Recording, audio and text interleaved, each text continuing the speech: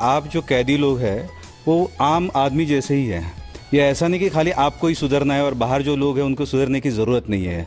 आप भी सुधरे हुए लोग हैं। एक ज़िंदगी में गलती हो गई, गलती की सज़ा आप भुगत रहे हैं। तो हमने पूरा थीम चेंज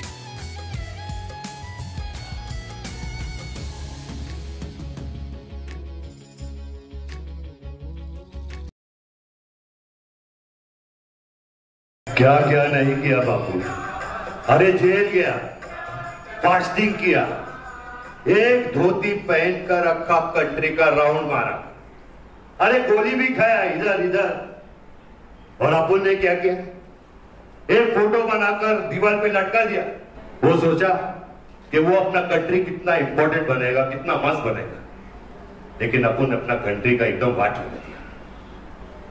अरे अगर बापू को कहीं रखने का है ना तो इधर रख।